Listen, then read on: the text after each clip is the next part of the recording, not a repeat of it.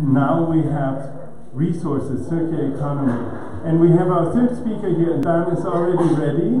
Uh, you can come on up here.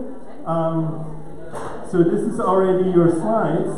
And I introduced Daan earlier. Maybe you remember. He's speaking about Peerby, which you could guess by now. Already it's on the slides. Daan is an entrepreneur, so his focus is also on how to reuse materials, but also on how to make this a viable business. So for both sides involved in the transaction, actually three sides. You have three sides in your transactions. You see also one of them. It's a very interesting concept. I invite you to join the session because this is something I really believe could be done here because you're already doing it in different places abroad. You started it obviously in Amsterdam in the Netherlands, but you're active now abroad. And even in the Netherlands, it's not limited to Amsterdam. And what is this now? It has nothing to do with garden gnomes, or does it? Daan, um, try to attach this. Or yeah, let me try. How's that dessert? Is it good? Is that like the, the local prickly pear? Is that part of the? It's, it's on. It's on. Hello. Um, thanks so much for having me. Um, I'd like to share a little bit of my journey today. Um, it, it starts quite a while ago in, in 2009 when this happened. This this happened. Um, my house burned down. I uh, before this happened, I had a, had a wonderful uh, job, had a, a, lovely car, I owned a lot of stuff. I was very independent, and uh, I didn't need anything from anyone. Um, but when yeah, after this this happened, I had to learn uh, a new skill because my not only did my house disappear, uh, my job ceased to exist. Uh, the car that came with that job was gone. Um, the stress of, of dealing with the fire uh, had, a, had, a, bad effect on my relationship. So suddenly, I was left with nothing. And, well, actually, nothing looks more like this. Um, and I had to develop a new skill. I had to learn how to ask for help. And um, what I found out is that my sort of, I, I had always felt like I needed to be super independent, but I learned that asking for help can actually be really nice because I, I, discovered that a lot of people were actually willing to help me. They, in fact, they, they loved to help me and loved to, to, to share when I, uh, when I needed uh, their help. So I, I started to look at the world from this new perspective, like what would happen if we, if somehow more of us were, uh, you know, were brave enough to be a little interdependent. Um, and I, I started looking at neighborhoods from that perspective, and I was thinking, what would happen if instead of having walls between all these houses, we would have little corridors and you could walk from one house to another? And I realized you would probably see so many identical or semi-identical homes like with the, with the same stuff, the same uh, camping gear, and the same lawnmowers, and the same tools, and the same barbecues, and the it's like it's like all this stuff is replicated hundreds of times. And I ask myself, does a, a, a you know a, a, neighborhood with 100 houses does it really need 100 lawnmowers? Or is there, is there a smarter way to do that? Because most of the stuff that we own, we, we you know sits idle most of the time. Um, I read in the LA Times that the average American owns 300,000 items is, it, is, is that, does that ring true for, for you guys here? Is that, does it sound right? um, so mostly books. Oh, that's, oh, that's a good, that's a good thing to own. Also a good thing to share, by the way. Um, yeah, so most of our, our, stuff sits idle. Take this power drill, for example. The average power drill uh, is used for about 3% of its capacity. Um, so I thought, what, what would happen if we were able to share that capacity? What if that, that idle time that is just in a cupboard or in a shed, if we can, can use that uh, to, to let more people enjoy that item? So I, I, worked in technology, I worked in software, so I decided I would want I wanted to use technology and software to try and create this kind of uh, behavior, try try and encourage people to, to do this. So that was the idea uh, to, to enable people to basically ask for something they need, whether it's a power drill or a bigger suitcase, send that out in, uh, in a neighborhood. Then, um, if a neighbor says, Yes, I've got that, you can, you can borrow it, we cannot connect them through a check, and then they agree to meet and uh, people pick it up. And that was the idea. And when I started pitching this uh, uh, years ago, uh, a lot of people told me you're crazy. Nobody wants to share. Nobody likes sharing. You know, you, you don't even don't even start. Uh, but there were also a few people that believed that you know if this worked, it would be good for communities. Um, one of those people was was Jared, um, who you might recognize if I if I if I tell you he's he's uh, uh the, the half of Ben and Jerry. Um, so he, uh, uh, he actually put a, gave us a little money to try and see if we could develop this idea uh, into something that would actually work. And it wasn't easy. Uh, it was very hard at first, to be precise, to, to figure out how we could encourage people to do this, especially because we were trying to do it in a, in a way that we could not just do it in one community, but that we could bring it uh, to everywhere through, through an app. Um, but after a few months, we figured out we, we sort of we figured out our first sort of uh, uh, uh we, we had a first little success. So there was uh, uh, our first two people that actually shared something through the app. Um, so this is in Amsterdam. This is Ruben and this is Danielle. And Ruben is an artist. And he was working on a wooden sculpture, uh, but he didn't have a, a saw. And Danielle happened to have a saw. Um, and uh, not long after this sort of first thing happened, we were able to, to keep tweaking and working on how we could make the app better. And actually, more and more people started sharing. Uh, from ladders to, uh, to tools to uh, clothing.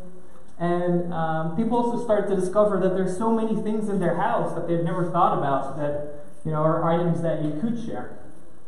So now we created this app that basically turns this power drill from, a, from a, an item that can only be used by one person into something that can be used by 32 people. And um, the reason I think that is, is important because uh, it's, it's, it's, it's what we're going to need in the future. Uh, we come from an, an, an, economy that we've developed in the last uh, centuries where we take uh, things out of, the, out of the earth we use them and then uh, they go to waste.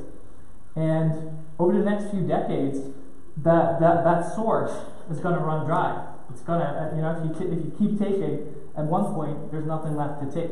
So we need to come up with a, with a new system, with a new type of economy where we are still able to enjoy, you know, the, the rich life that we have today, enjoy the resources that we have today. So we have to figure out how to create a circle instead of this this this line where where in the end everything ends up on a as a big pile of waste. So um, this is uh, yeah this is what I'm passionate about, and um, I hope that in this way uh, we can help uh, uh products to become uh, uh, to change products. to, from, from, to, to become products that are no longer designed to become obsolescent, to go to waste, but to be products that are designed for uh, communities and that are, uh, are, are meant for shared use. Thank you.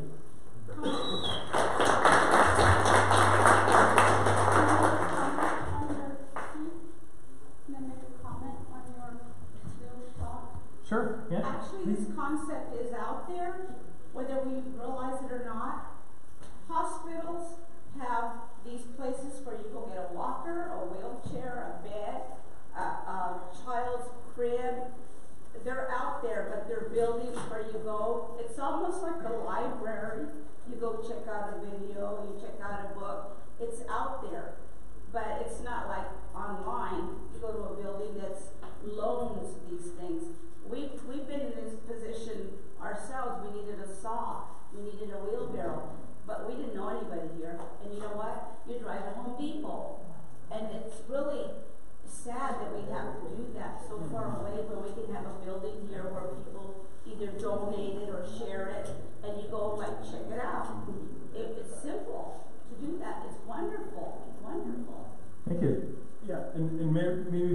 very soon you can really do this here because this this works best in a closed circle and a small radius because otherwise you don't want to drive 200 miles to share a power drill, right? This doesn't make any sense. But in a closed circle in a neighborhood environment, that's where it makes the most sense.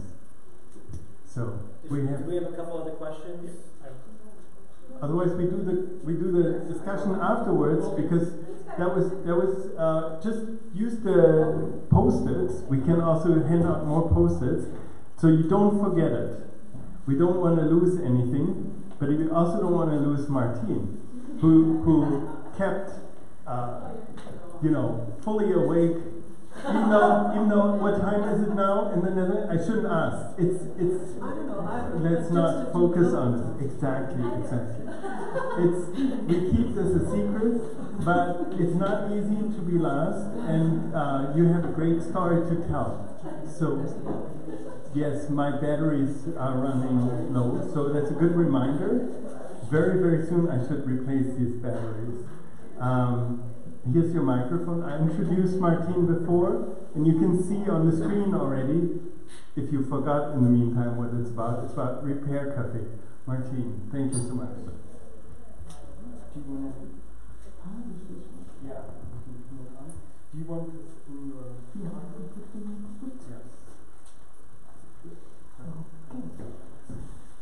Okay. Um, it's really wonderful to be here in Superior today, and I'm thrilled and grateful to be able to um, tell you something about Repair Cafe, um, a concept that I created 10 years ago and have been busy spreading since. Um, my name is Martine Postma, and I'm founder of the Repair Cafe International Foundation. So this is a repair cafe. It's a free repair meeting organized by and for civilians on a voluntary basis. It's usually very much fun. You learn about repairing, you see that it's possible. You have a chat, you have a cup of coffee or tea, and at the end of the afternoon, in 70% of the cases, you go home with an object which is no longer broken but can be used again for years. Repair Cafe addresses a problem that uh, many people in the Western world will recognize, and this is that things break. And when they do, many people just don't know what to do anymore because they don't have repair skills, they don't have tools, and they don't have time to focus on the subject. So they're in trouble when something breaks. At the same time, in every community, there are still some people who do have those skills and who own tools and who also have time. And usually these people have been repairing and fixing and tinkering for decades at home, helping their entire family and uh, teaching themselves. And they're so fond of doing this that these people are more than happy to help their neighbors. So that's the idea of the Repair Cafe.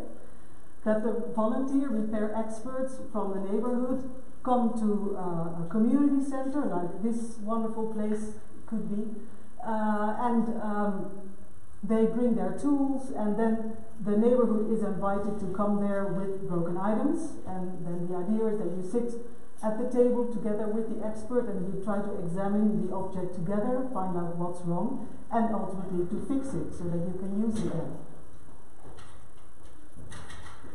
I um, thought up this concept 10 years ago because I found it shocking that so many perfectly good items are thrown away every day, like these uh, two cute little folding beach chairs. This is a photo from my street in Amsterdam. Uh, I saw them standing there, and actually, when I walked by, I couldn't see anything wrong with them, so I, I took them home secretly and I examined them and um, I found that one of them, there in one of them was one dowel missing, and that was all. So I glued a dowel back in there, and I took them to a thrift store where someone can buy them and use them to sit in the sun on a beautiful day. So um, I've got many more examples like this. This is a picture from my neighborhood too. And all this stuff was discarded as waste.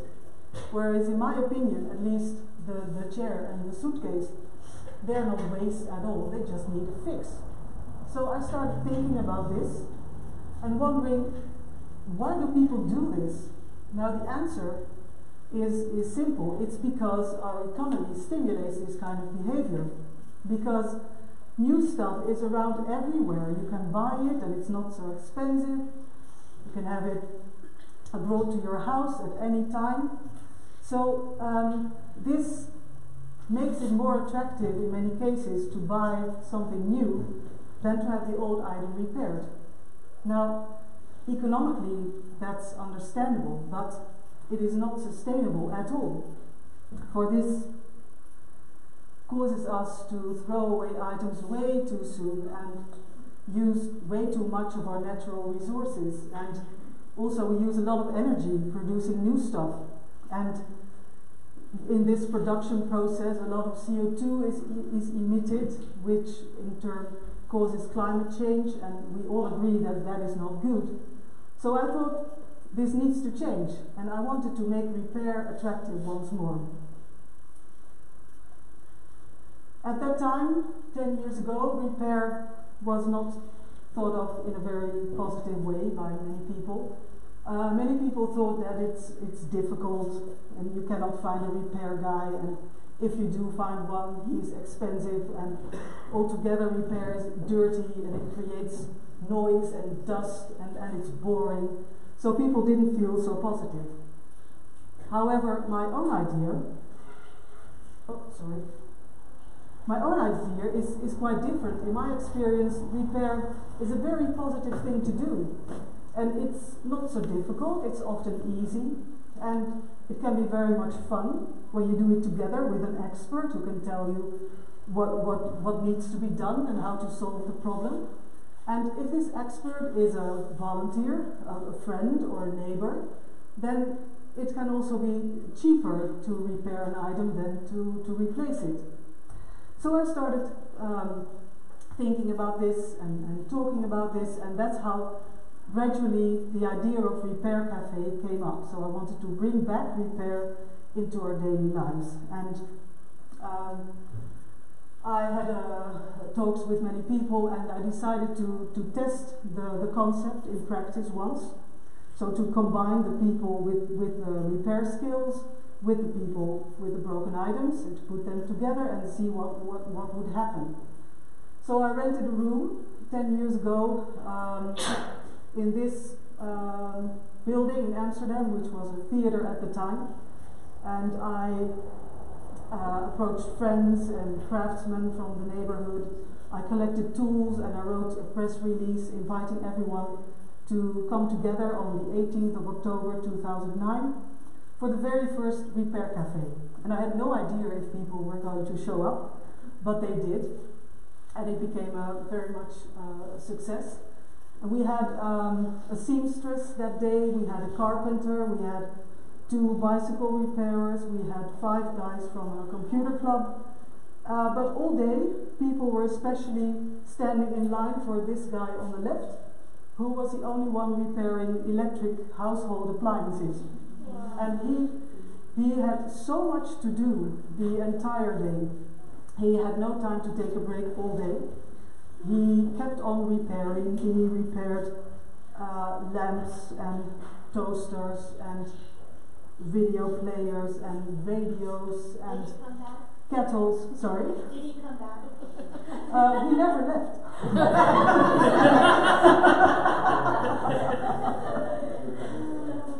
but um, uh, so he, he, he was the hero of the day.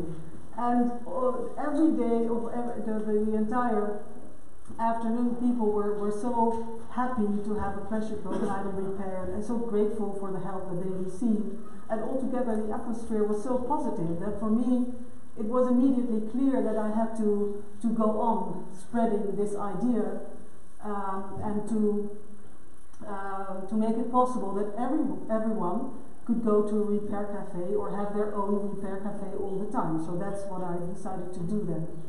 I started the Repair Cafe Foundation and I wrote a manual um, telling you how to organize your own repair cafe, and it takes you step by step through the process of organization.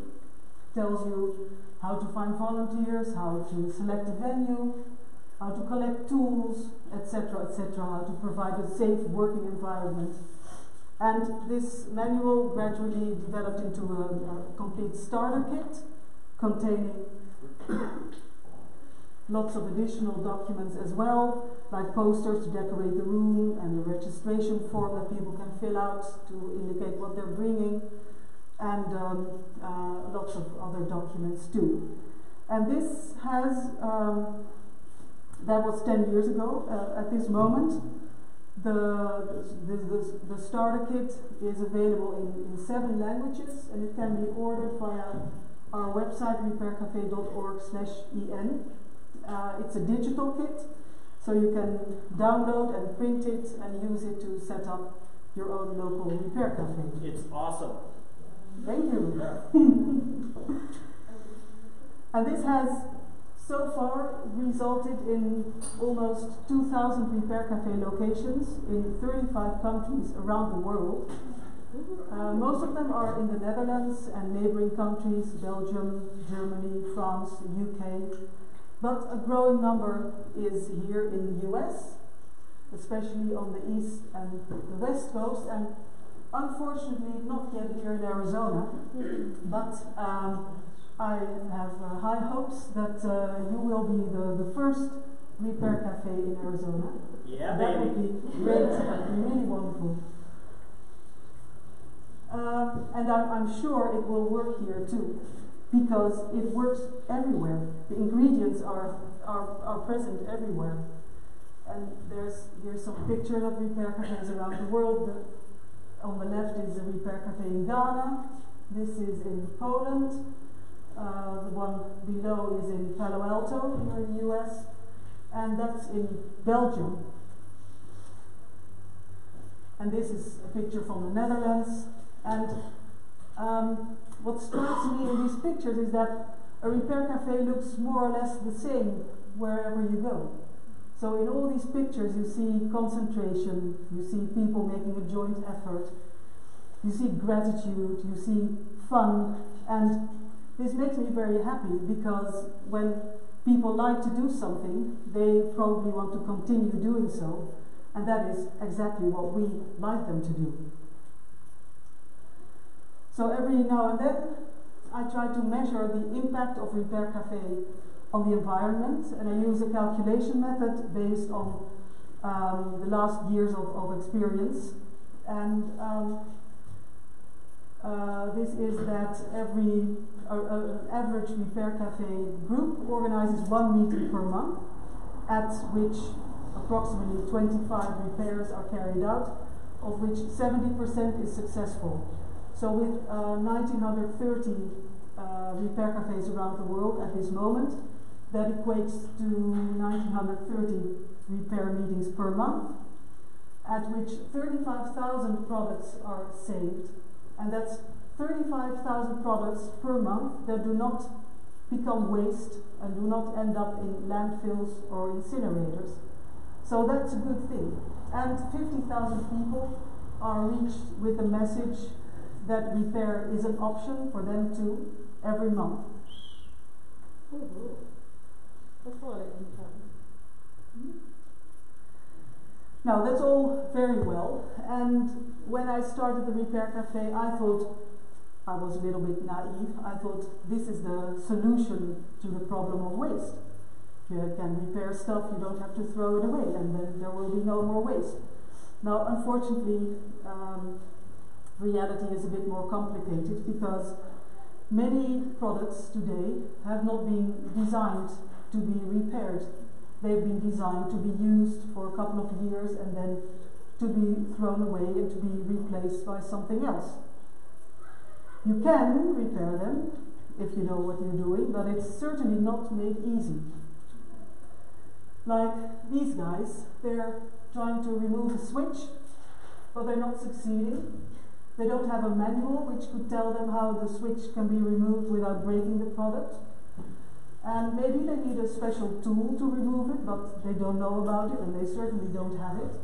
And if they break the switch, they're gonna need a spare part, a replacement, but they don't have that either. So what I'm trying to say is um, repair is possible, but you're completely on your own. The manufacturer doesn't help you in many cases. He could if he wanted to, and we believe that he should. We believe that repair should be supported in every possible way.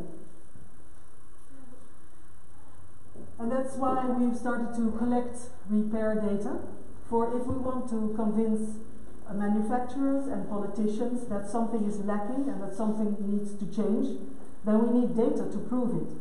So we've developed the, the Repair Monitor. It's an online system in which Repair Cafe volunteers can enter data on the repairs that they carry out. So they can indicate what kind of things they repair, what's wrong with them, if the repair succeeded, etc. And we at the foundation, we can um, draw conclusions from these data, like what kind of things are brought to the Repair Cafe the most and what's wrong with them. Is there anything to say about common failures or reparability of specific brands? Uh, and this is the top 10 of products that have been entered into the, the monitor so far. Uh, there have been 20,000 repairs entered, registered into the repair monitor, and the, the great majority is from the Netherlands. And the top 10, our first uh, number one product is the coffee machine. This is the most popular product brought to Repair Cafe, followed by the bicycle, trousers, vacuum cleaners, lamps, sewing machines, clocks, irons, laptops, and coats.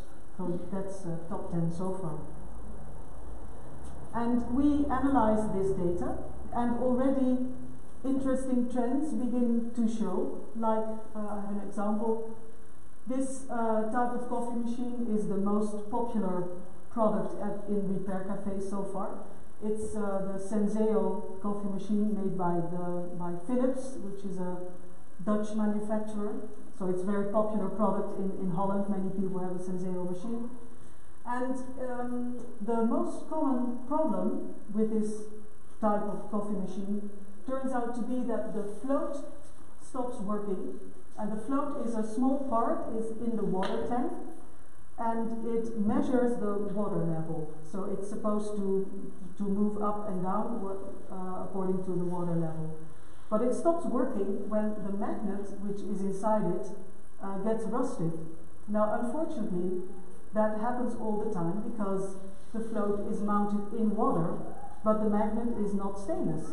So it can be replaced, and that's, it's not so difficult to replace it, but our repairers argue that it would be even better to use a stainless magnet. And there are stainless magnets too, with a rubber or plastic coating.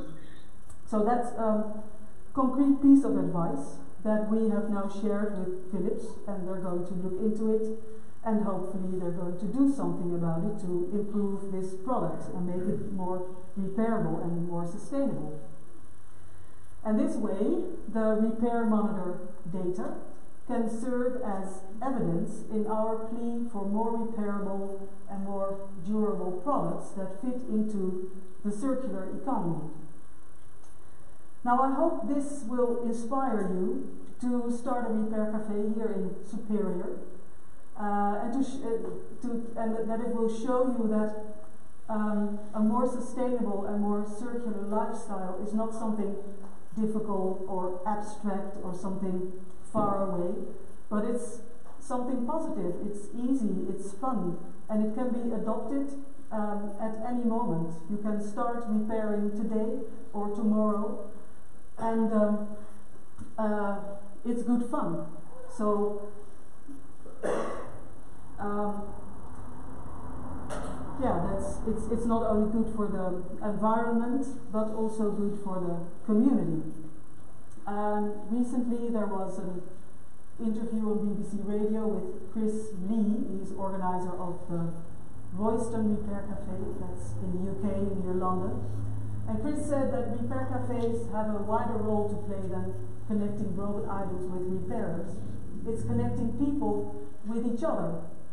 Repair Cafe slows you down a little bit and it creates a sense of togetherness. And he couldn't have said it more um, to the point because that's exactly what Repair Cafe does.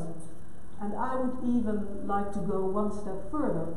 By slowing people down, the Repair Cafe also connects them with their common sense, with their inner feeling of what is right.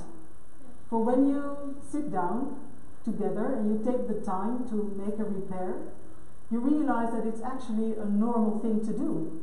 And when you succeed, you feel good, you feel strong. And when communities are, are empowered in such a way, they are capable of achieving more together. And that's the kind of mindset and, and the thing that we need for a more sustainable future. So I would um, like to encourage you, start a repair cafe and make repairs and have fun. Thank you.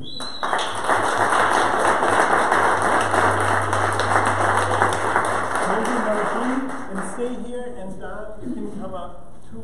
Now we can take a couple of follow-up questions, and we'll share your microphone uh, so you can hear. So, so yeah, there were a few questions earlier already for Daan, and yeah, you can you can be in the middle. Uh, Martine, you can be in the middle.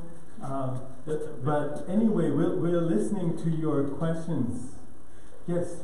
Two, 2,000 years ago, God came to earth and set an example of a man who would give everything, even his life, for everybody else. On one day, 3,000 people decided to follow him and decided to give everything they owned every penny of money, every food they had, everything they had, and on, in their time. Now, superior needs a leader. Every one of you were leaders, and you have a lot of people now who are following because you were willing to volunteer first and be the leader. Now, we have a leader here, obviously. Somebody has spent the money to dedicate this building and be a leader. I'm willing to follow him. We moved here because we thought that our talents and skills could be used, but the town wasn't ready for music in the school and, and for a substitute teacher. And so we have, we're going to have to move. If we don't find some way to increase our income, we have to move. We can't live on Social Security alone today on a house. So uh, we, we're highly motivated, and I, am sure there are a lot of people in this town that are highly motivated, but they, they needed somebody to lead them. And, and you've given a great example, and if we will follow and step forward and be leaders, we will inspire followers. Thank you. I think it's, it's really a phenomenal first step to have people come together here and to share ideas and to discuss the way forward. I think things aren't done overnight. You didn't start with 2,000 repair cafes, you started with one. It was kind of a bold step. You didn't know if people would come. You started with two employees or two colleagues, and uh, now you're almost a hundred, and that you had also to fight to get at least the first exchange happen over the app. So breaking the ice or this first success that's really tough, and then of course there's more challenges afterwards too. But first things first. More questions? Yes. Um, regards to the uh, peer how do you, do you, how do you do how do you handle damages and who covers the damages? Uh, so we had um, early on. What we did was we left it uh, all to the community, and we noticed that people are actually very trustworthy. So if they break something, they'll usually tell you about it, and they'll offer some way to you know repair it or to resolve it. Um, as we've grown, we've we've tried to come up with measures to sort of make that trust um, implicit within the system, so you know you can depend on, on also on the platform to solve that. So we now have uh, like an insurance that uh, covers damages or, or loss. Uh, so if anything goes wrong, it's it's covered. But this doesn't mean that we had to switch from a, uh, a model that's completely free to a model where everybody pays a little bit when they borrow something. Uh, not necessarily to the person that's lending it, but uh, to, to ensure that if anything goes wrong, the community covers it. Thank you. One more? Yes. Um, for the, the RCs, um, how do you pay for the overhead? Well, um, the, the Repair Cafe is a volunteer activity, so there is no real payment involved, or not necessarily. People are invited to uh, make a donation uh, in a tip jar, uh, and the volunteers can use those donations to maybe buy a, a special tool that they need, or pay the rent for the room if they have rent, or um, also So like electricity, water. yeah, like for example, but most repair cafes actually have a free space that they can use uh, because they also bring new people into the community center or they go to a library and have a place at the library that they can use. So for the local repair cafes, the costs are not so high. It's just um, well, some some rent maybe, or some costs for, for coffee or sandwiches, or for occasional barbecue with the volunteers, so that kind of thing. I have a, a comment.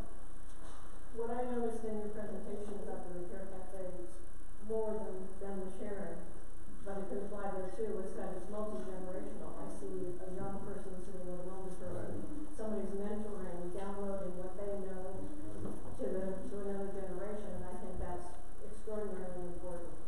Yeah, I totally agree with you. It is important because, and especially in, in repair cafes, it's um, usually the older generation that has the skills, and um, we should um, take care of, of passing on these skills and sharing them with younger people so that we can continue repairing in the future. That's absolutely vital. That's a great lead in. Thank you. And now we want to invite you to do a little bit of um, team activity. So um, if you can identify a person sitting next to you, you can now use the next five minutes to discuss skills or knowledge that you might have to be to bring into building um, to contributing to a circular economy here, be it in a repair cafe, uh, but it can also be other aspects. It can also be um, knowledge that goes beyond repairing something. It can also be, of course, your knowledge. I mean, we talked about the food. I talk about food all the time. So the edible, the desert edibles. Uh, it can be something you talked about the schools. So education, teaching uh, aspects. So please go ahead. Um, if you are unsure who's your neighbor to work with, you can also do it in, with three people. It's not against the rules. Don't don't be shy. Uh, we don't want anybody left alone. That's to be su- sure. And you have these uh, post-its if you want to write down some ideas. And then we give you just a few minutes, five minutes, to talk a little bit. Maybe if you don't know the other people, you say hi first. If you know them already, you can skip that. And please go ahead, and then after five minutes, we will collect some ideas and discuss further. Thank you.